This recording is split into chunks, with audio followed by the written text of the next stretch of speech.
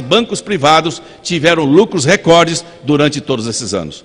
Ouço o deputado Macris com muito prazer. Deputado Rubens Bueno, sabe Vossa Excelência a admiração que tenho pelo seu trabalho, pela sua liderança, pela sua determinação em construir juntamente com os demais líderes esse momento que o país está vivendo, momento da mudança.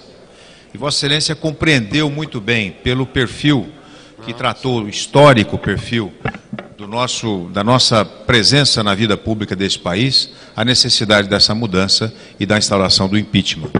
Vossa Excelência foi um dos grandes protagonistas desse processo, queria cumprimentá-lo e, mais do que isso, o que faz nesse momento da tribuna da Câmara, que mostra claramente quais foram os momentos do devaneio de um governo que se pretendeu defender os interesses da população brasileira e que caminhou fortemente para o desvio ético, para o desvio da economia, numa tragédia da má gestão construída em detrimento dos interesses do povo brasileiro. Quero cumprimentar Vossa Excelência por isso e dizer: continue mantendo essa sua linha e sua trincheira de luta.